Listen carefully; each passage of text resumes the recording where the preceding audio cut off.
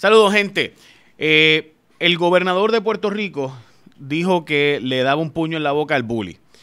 El bully no se quedó callado y siguió abusando, honestamente, de, en el caso de nosotros, de Puerto Rico y de los políticos de Puerto Rico, y no ha habido un puño todavía que lo mande a callar, parece ser.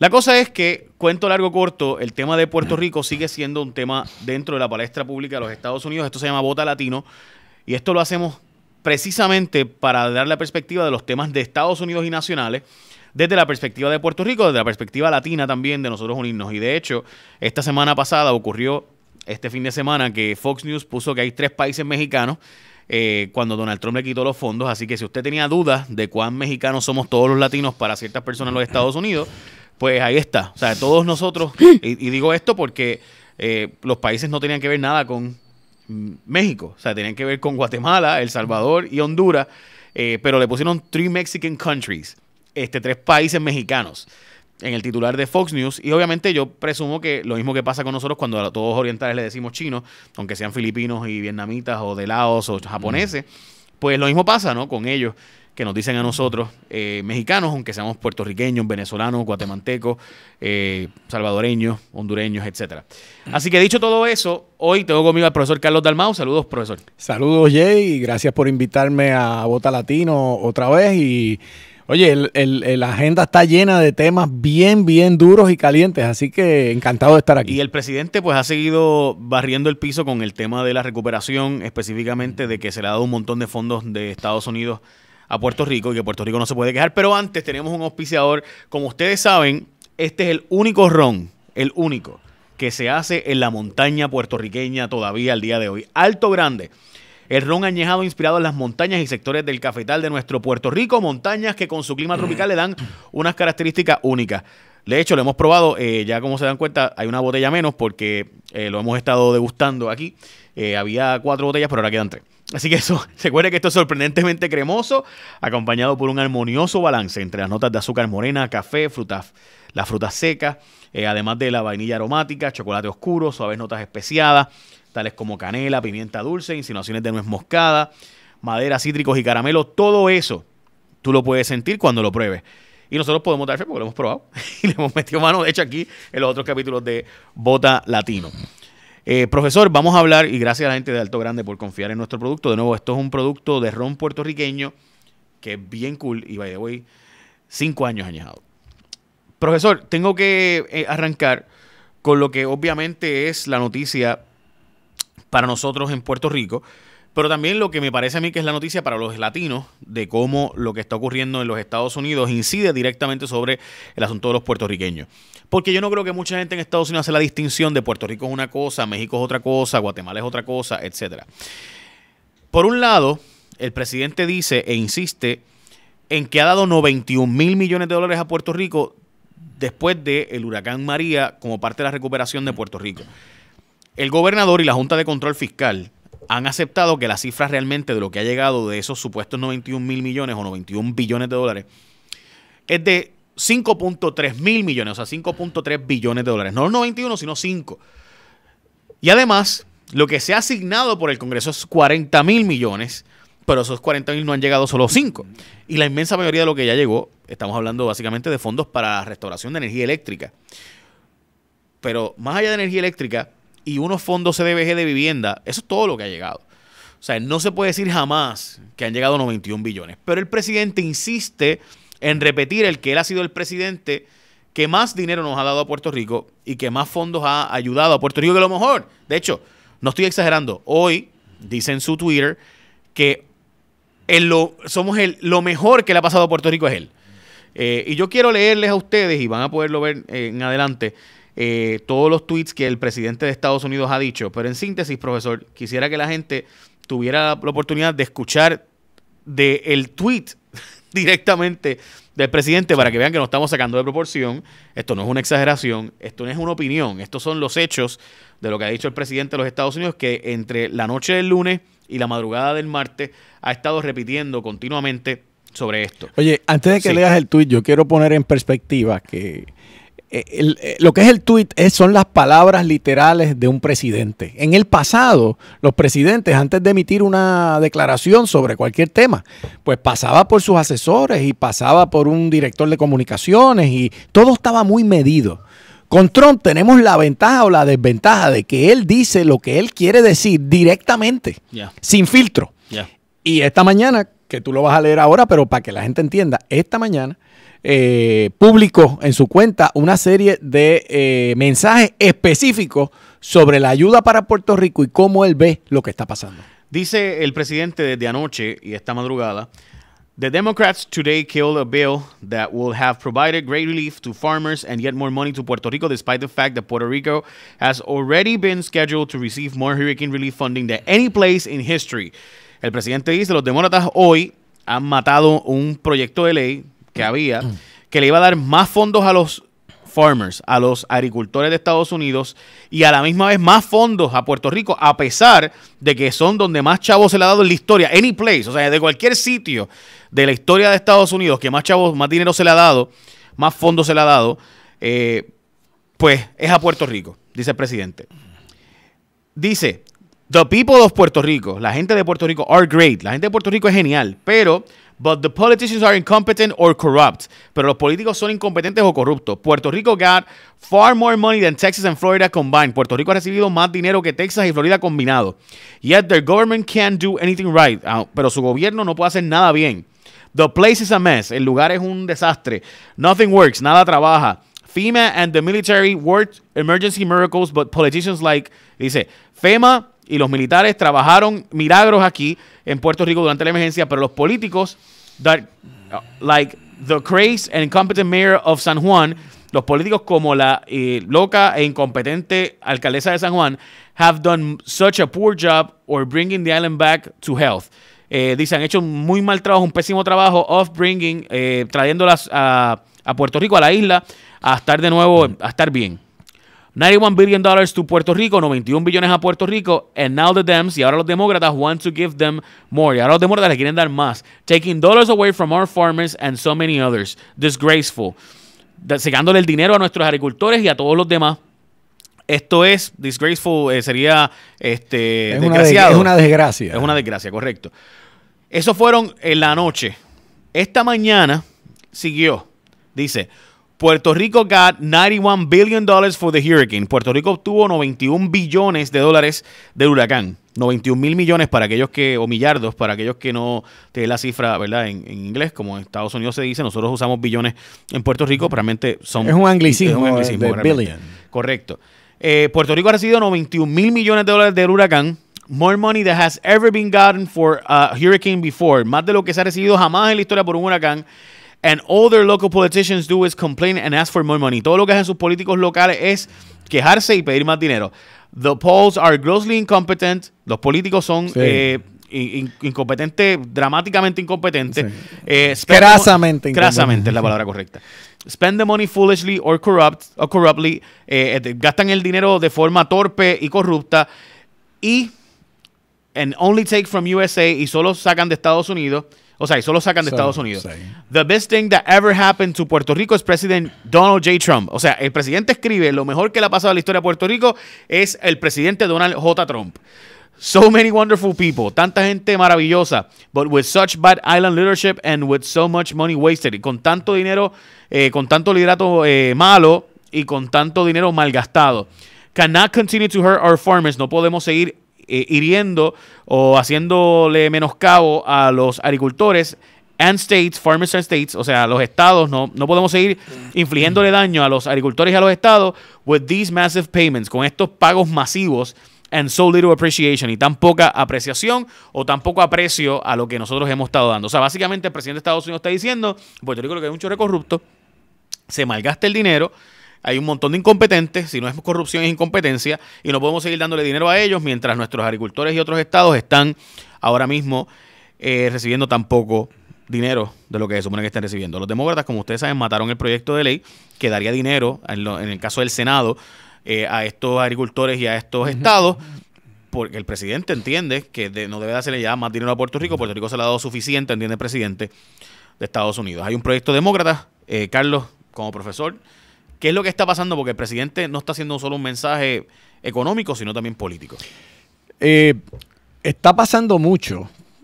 Y en el debate político partidista, eh, vas a ver que va a haber mucha discusión, mucho talking points, tratando de minimizar esto como una pelea política de demócratas y republicanos. Esa va a ser la línea. Pero es mucho más que eso. Eh, yo creo que el gobernador, primero miremos qué hizo el gobernador. El gobernador, em, de una forma muy calculada, en una entrevista con CNN, con el periodista Acosta, decidió dirigirse a Trump y decir que si el bully se le acercaba, él le iba a dar un puño en la boca, un golpe en la boca. Eh, todo el que conoce a Trump sabe que al tú hacer esas expresiones, tú te ibas a exponer a algún tipo de respuesta, porque Trump tiene como política que no se queda dado. Así que a mí me parece que la apuesta que hizo el gobernador, eso no fue por frustración, como hay quien dice. La apuesta que él hizo fue yo, yo ya sé que Trump no me quiere dar dinero. Yo voy a cazar una pelea para que los demócratas me abracen y yo tener un posicionamiento en Puerto Rico como el campeón de las causas frente a un presidente abusador. Yo creo que ese fue su, diseño. El gobernador, como tú y yo hemos hablado, es disciplinado. Nadie me puede decir que él se inventó esas palabras allí. Él las pensó, las practicó y las dijo.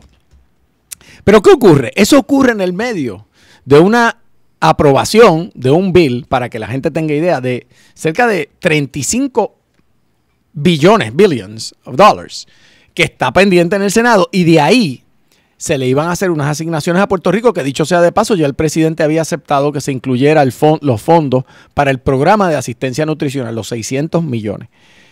Pero los demócratas querían más dinero. Y ahí fue que el grupo republicano se trancó y dijo, no, no, no, no hay más dinero para Puerto Rico, vamos con el bill. Y por no haber incluido ese dinero adicional, los demócratas derrotan esa propuesta. Las expresiones de Trump, y me gustaría que tengamos un poquito de, análisis sobre qué dijo Trump, que dijo muchas cosas. Por ejemplo, él le adjudica los fracasos de la recuperación a unos factores locales. Es decir, incompetencia del gobierno en todas sus dimensiones. Le adjudica mal gasto de fondos, no, no saben utilizar los fondos que se han enviado. Y tercero, corrupción. Si el, y aquí es que te quiero decir que esto es algo bien importante para lo que va a pasar en los próximos meses y probablemente próximos años. Si el gobernador, si el presidente de los Estados Unidos, el hombre más poderoso del mundo, el, el commander in chief de las fuerzas militares de los Estados Unidos y de todo el aparato ejecutivo de los Estados Unidos, concluye eso de esa manera, a mí no me cabe duda de que él, su equipo, le ha presentado información y evidencia que sustenta eso y que a la larga él va a poder sacar. vamos a hablar de eso brevemente, profesor, antes de que siga. El presidente recibe todos los días un informe de inteligencia y de investigaciones en curso en ese famoso briefing que le dan al presidente, o sea, este resumen eh, que le dan todas las mañanas. Así que el presidente tiene acceso a investigaciones en curso sobre el tema de corrupción, sobre el tema de mal gasto y demás.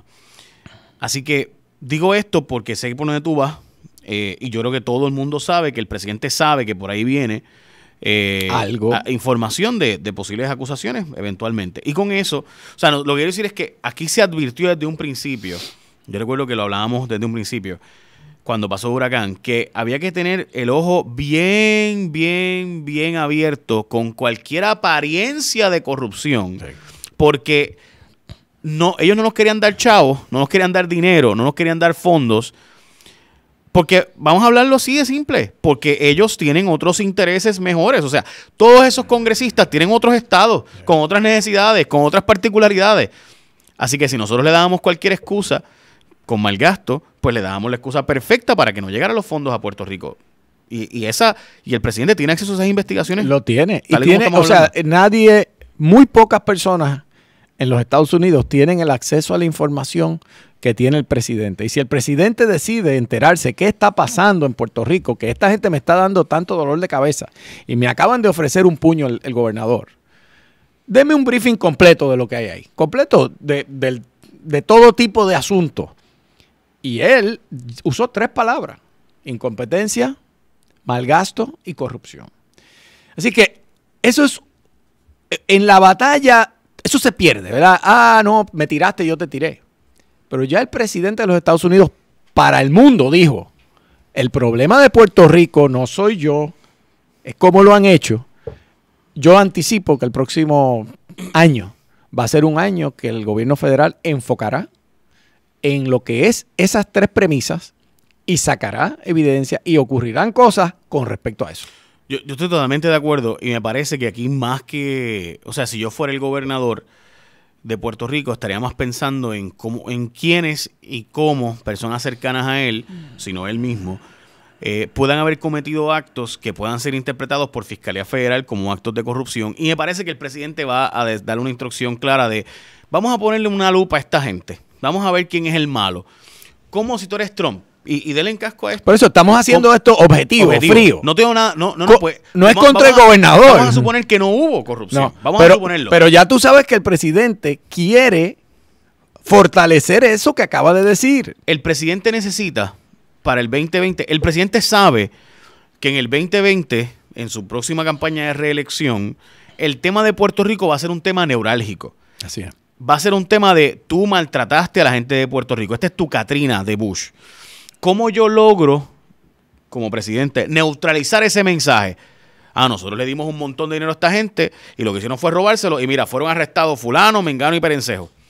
Se acabó el tema. Así mismo. O sea, mataste el tema para la es base más, de hasta, él. Hasta, hasta, no solamente matas el tema, pones a los demócratas en una posición muy difícil porque mm. ningún político quiere defender un gobierno que ha malgastado el dinero de los taxpayers y que para colmo, si encuentran corrupción, si encuentran eh, eh, eh, violaciones de ley en el uso de esos fondos, va a ser devastador y Trump se va a poner las botas diciendo lo que, lo que acaba de decir en ese tuit. Y vamos a plantearlo así, o sea, siempre que ha habido un huracán, ocurren actos de corrupción, siempre que ha habido un desastre, ocurren actos de corrupción.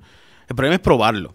Claro. ¿Y hasta eh, dónde y, llega? Y, voy a explicar Porque por... hay corrupción de bajo nivel, claro. de mediano nivel o de, de alto nivel. Alto nivel. Eh, voy, voy, a explicar por qué digo esto. No, no tiene que ver, o sea, cuando Katrina fue preso medio mundo allí en New Orleans. Así o sea, fue, hubo eh, como más de mil indictments. O sea, o sea hubo, las acusaciones fueron y la cantidad de investigaciones fueron porque es que como son fondos, gente, que son fondos de emergencia, no hay que hacer subastas.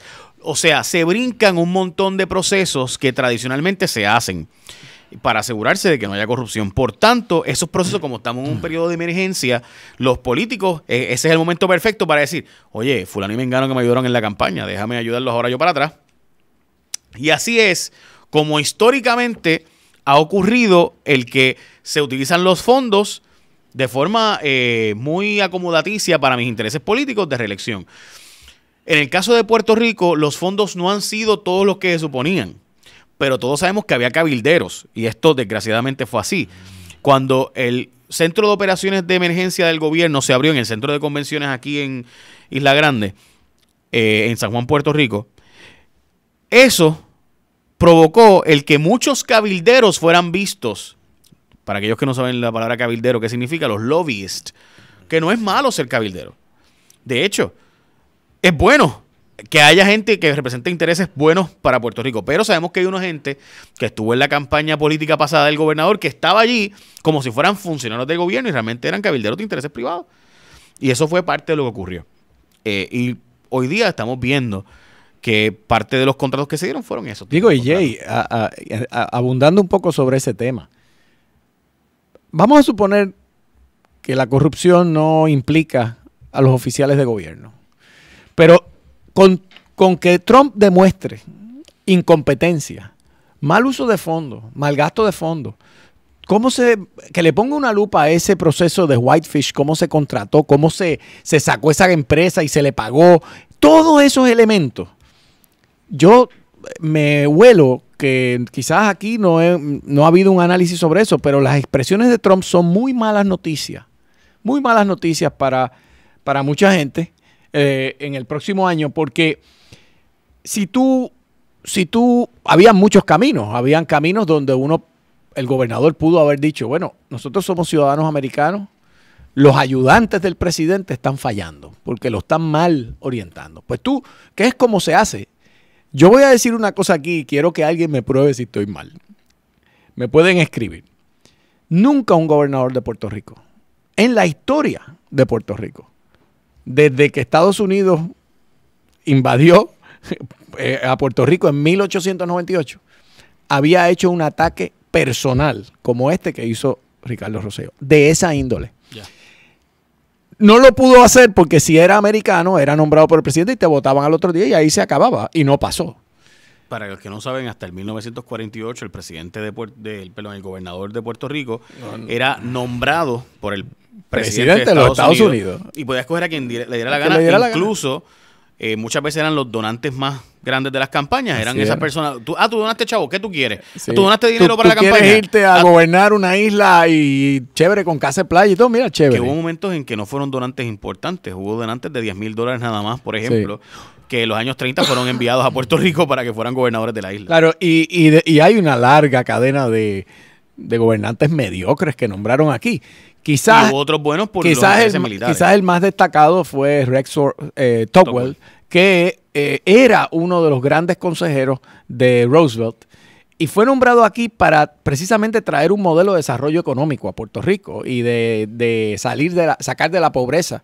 Eh, grandes sectores que luego el Partido Popular heredó, abrazó, fue parte y convirtió en, su bandera. Pero volviendo a la actualidad. Pero hay que explicar brevemente, el asunto de Tocqueville también se debe a un momento histórico de la Segunda Guerra Mundial el interés que tenía Estados Unidos en precisamente en mantener la isla de Puerto Rico por, la, por, el canal de Panamá y por los intereses militares de la Segunda Guerra Mundial. O sea, nos hacía falta, por así decirlo, a Estados Unidos le hacía falta nombrar a alguien a Puerto Rico que militarmente asegurara de que aquí la gente estaba contenta de que si venía una invasión alemana, como un momento se rumoró, que mucha gente hoy día se le olvida la historia, pero hubo rumores muy fuertes de una invasión alemana en el Caribe, pues si eso ocurría, eh, pues hubiera un centro de operaciones, porque para aquellos ¿verdad? que no lo saben, Estados Unidos utilizaba mucho transbordo desde Puerto Rico y sobre todo el canal de Panamá.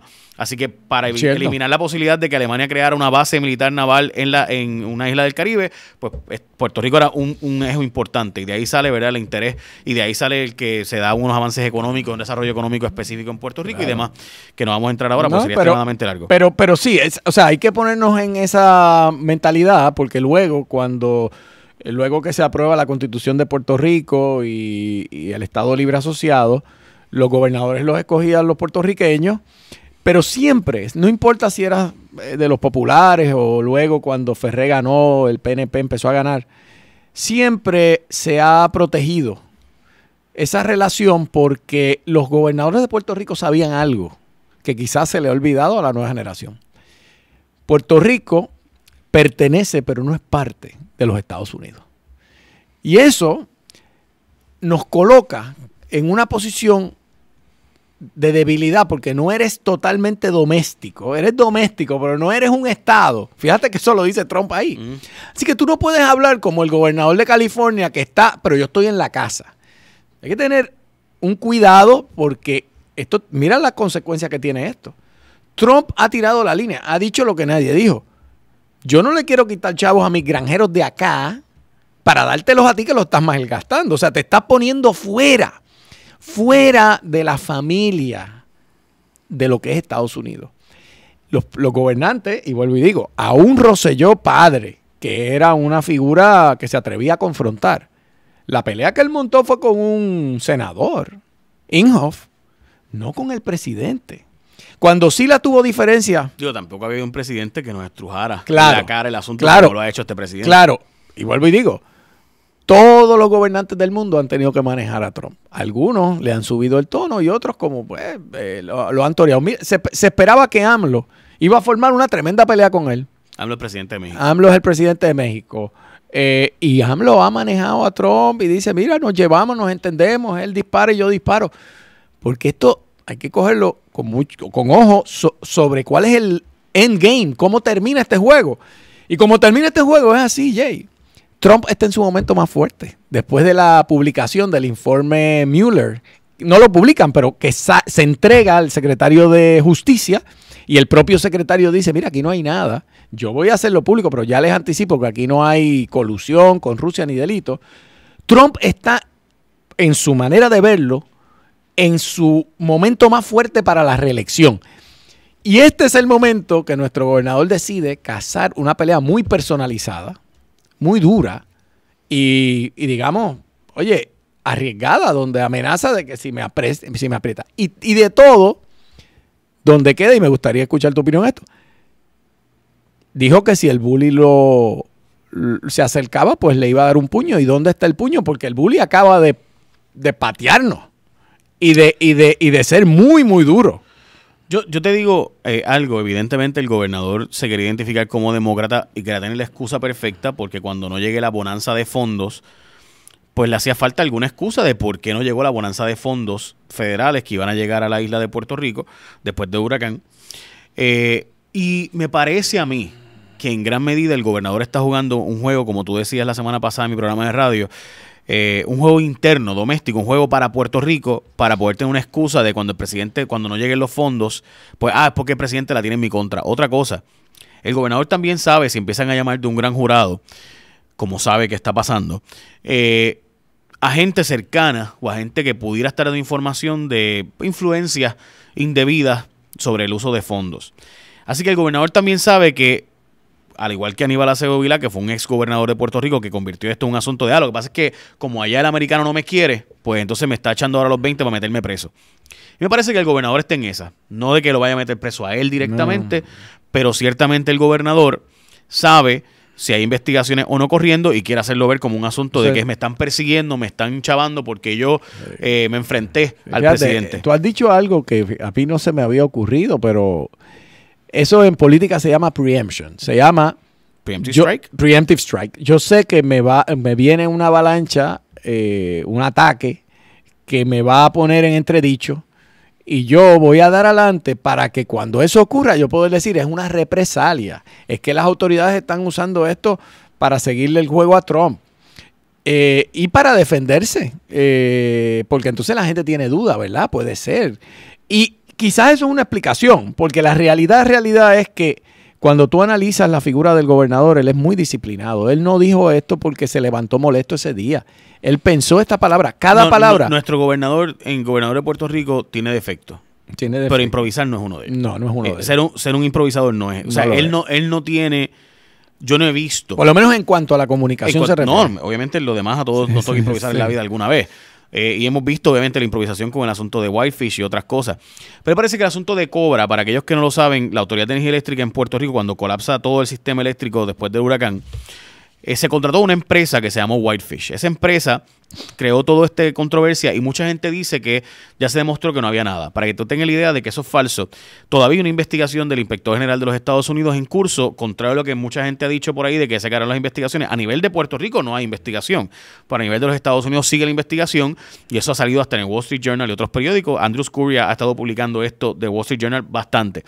Pero además de eso, Cobra que fue la empresa que vino después, cuando sacan a Whitefish, también empezó a ser parte de investigaciones y demás que están en curso, eh, específicamente por la relación de FEMA tan estrecha de ciertas personas en Cobra. Y vamos a ver sobre ese particular pronto información adicional y van a verlo. O sea, es cuestión de tiempo. Yo no voy a decir mucho más porque es cuestión de tiempo. Eh, el presidente de Estados Unidos sabe esto, el gobernador de Puerto Rico sabe esto. Y también sabe que aquí la campaña de reelección de él es una campaña que en gran medida va a depender de si esos fondos federales llegan o no llegan.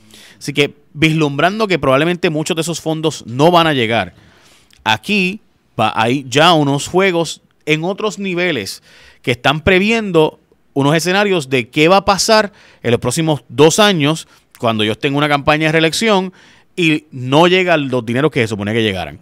Hay otro juego más grande aún, que es el juego de qué va a pasar con los acuerdos con los acreedores, con los bonistas de Puerto Rico, que se supone que recibieran unos pagos y que estamos contando con esos fondos federales para recibir los pagos. Porque hay que decir que el presidente, tú puedes tener críticas y demás. Y sin duda no han llegado los fondos que él dice que han llegado, ni se han asignado los fondos que él dice que se han asignado. Pero sí tienes razón en algo. Los fondos sí van a pagar parte de la deuda, no directamente. La jueza Taylor Swain, que como ustedes saben es la jueza que está viendo el caso de quiebra de Puerto Rico, prohibió por una orden del tribunal que se usaran los fondos de la recuperación para pagar la deuda. Así que no se pueden coger los dineros, no se pueden utilizar los fondos federales que van a llegar gracias a la recuperación de María, los fondos de FEMA y demás por el desastre, no se pueden usar para pagar la deuda directamente. Pero indirectamente sí. Y la Junta de Control Fiscal fue muy clara. La Junta de Control Fiscal que supervisa las finanzas de Puerto Rico y el gobernador estaban diciendo que hacía falta una reducción de la deuda de 85% de la deuda de Puerto Rico y terminaron acordando con los acreedores recientemente una reducción de solo 20 a 25%. Quiere decir que antes de los fondos del huracán, y by the way, ellos lo dicen a sí mismos, así, literalmente así, los fondos del huracán van a crear una bonanza económica que van a permitir que se hagan mayores pagos a los acreedores hasta el 2031. Puerto Rico tiene hasta el 2031 para hacer los ajustes económicos para poder continuar pagando esos fondos. Eso está literalmente así escrito en los planes fiscales y en los acuerdos que hay recientemente con los bonistas, los acreedores de Puerto Rico. Eso cambia el juego ahora porque los fondos no están llegando. Y sin embargo los acuerdos sí se firmaron. Especialmente los acuerdos del el sales tax o el IBU, como le llamamos en Puerto Rico, el impuesto a la venta y uso, que en el caso de Puerto Rico estamos hablando de 11.5%, pues se acordó ya con los acreedores y lo aceptó la jueza Taylor Swain, que ese acuerdo es válido. Así que ya se está ejecutando un acuerdo donde la mitad de los fondos que recaude Puerto Rico en el impuesto a la venta de 11.5% van a ir a pagar la deuda. Esa realidad está ahí. Y Puerto Rico se metió esa ancla en el cuello mientras seguimos nadando con un ancla aquí y los fondos no han llegado. O sea, hicimos acuerdos contando con unos fondos que no han llegado y que el propio gobernador ahora admite que a lo mejor no van a llegar. Y, y, ahí tú has dado en el clavo. Y lo dijimos cuando ocurrió y por eso criticamos ese acuerdo. Porque ese acuerdo partía de unas premisas que no están claras. Una, que ese dinero iba a llegar todo lo que estaba pidiendo el gobierno. Y dos, que la economía de Puerto Rico iba a tener un repunte en los próximos años. Y, y no se ve ahora mismo un panorama donde esas grandes inversiones que se estaban, ¿verdad? se le está dando publicidad, que vengan por ahí. Yo quisiera que sí, yo vivo aquí en Puerto Rico, me encantaría, pero tú no puedes montar un plan de reestructuración de deuda eh, pensando en que, pues a mí me gusta Disney World y Mickey Mouse y me gustaría que todo fuera bonito y lindo. No, el mundo no, es, así. El mundo no es así. Así que, lamentablemente, se nos está acabando el tiempo, pero este, to be continued. Desgraciadamente sí. To be continued, porque esto está empezando todavía. Esto está empezando. El gobernador salió, by the way, el, hoy mismo salió para Estados Unidos luego de la renuncia de dos de sus importantes miembros de gabinete y va a estar hasta el sábado en Estados Unidos. Así que evidentemente puede haber un otro otro puño events, otro, puño otro, otro, puño moment. Y, y, realmente pues él, él tiene que, yo no tengo duda que él debía esperar que el presidente le iba a responder él no debe estar eh, intimidado por eso. Esto es, parte del plan del gobernador. La pregunta es si ese plan le conviene a Puerto Rico. Nuestros hermanos puertorriqueños, estuve en Texas el pasado fin de semana viendo a mis Cubs de Chicago. Eh, y te puedo decir que la cantidad de puertorriqueños que se me acercó este, allí, que pues fue bastante. Yo, más, de la que esperaba en el juego. Sí, porque recuerda que hay, hay un grupo de puertorriqueños que, que juegan en, en, el equipo de. Está Víctor Caratini. y tú eres como si fueras como accionista de ese equipo. De ese equipo, casi, casi. Algo así. Este, y te puedo decir que eh, le preguntaba, oye, y acá, y qué sé yo, y, y, y, sí hay una sintonía con el concepto de que de cuán latinoamericanos eh, somos ante los ojos del resto de las poblaciones. Y yo creo que eso es positivo. Nos va a hacer ver que la unidad entre los latinos es lo que nos va a ayudar. Por ejemplo, ahora mismo los hermanos de El Salvador, Honduras y Guatemala acaban de perder unos, unos, fondos federales que el presidente típicamente o, todos los departamentos de Estado les daba para ayudarlos en sus luchas internas, para evitar básicamente, ¿verdad? el propósito es para evitar que siga la, la, emigración hacia Estados Unidos, pero también para ayudarlos a estabilizar su situación económica y ayudarlos a estabilizar, ayudar en la lucha contra el narcotráfico, que en síntesis es lo que provoca que mucha gente se vaya. O sea, ¿por qué la gente se va de Honduras y se va de El Salvador a pedir asilo político a Estados Unidos? Pues por la lucha del narcotráfico. O sea, ahí las maras y, demás gangas que hay allí son terribles y hacen cosas terribles. Eh, y nuestros hermanos latinoamericanos necesitan de la unidad de los puertorriqueños que están en la diáspora para que esos fondos se vuelvan a dar a estos otros países, porque ciertamente la situación de ellos es peor sin estos fondos. O sea, no es que El Salvador no quiere, eh, o sea, pongámoslo así, ¿Tú crees que los salvadoreños de verdad quieren irse a caminar desde El Salvador, cruzar toda la, toda la América Central, todo México y llegar a Estados Unidos arriesgando sus vidas, arriesgándose a ser violados, matados? O sea, gente se va por una situación de desespero. Es, como ocurre con todas las olas de migrantes en el mundo hoy son olas de personas en estado de total desesperación, buscando una vida eh, digna, una vida básica para ellos, para sus hijos. Tirarle la puerta en la cara porque sí, demonizarlos, eh, ningunearlos. Que, no, que tú me dices que si fuera un asunto de caso a caso, a que hay gente mala que usa, eso- que usa niños de excusa para irse a Estados Unidos y hacer barbaridades, claro, Sí. como lo hay en todo. Pero para Trump todos caen en esa categoría. Y eso es parte del problema. Y hoy, eh, y entre ayer y hoy, Trump nos ha recordado a los puertorriqueños que cuando él nos mira, nos parecemos más al mexicano, al salvadoreño, que a los que él, eh, con los que juega golf Sí, en Mar a Lago. que, lo- y, y, y que los, lo que él, para él, son los americanos blancos a quien él le quiere hablar. Entonces, eso no, puede que usted piense, eso no me sorprende, él es así. Pero cuando, cuando el prejuicio se convierte en una política pública, solos los puertorriqueños, pues la van a pasar muy difícil. Hay que con- comprender dónde están las fuentes de poder para enfrentar eso. Y hay que hablar de eso y hay que buscar la forma de cómo nosotros los latinos nos unimos de verdad para ayudar a que nuestros hermanos latinoamericanos todos tengamos un mensaje. Porque no podemos pedir los puertorriqueños, oye, ayúdennos mexicanos, Sí, ayúdennos y guatemaltecos, después, ayúdennos dominicanos yo en New estoy York, aquí. y No. venezolanos en Florida y cubanos en la Florida y después nosotros no ser parte de esos movimientos y de esas necesidades que tienen nuestros otros hermanos latinoamericanos.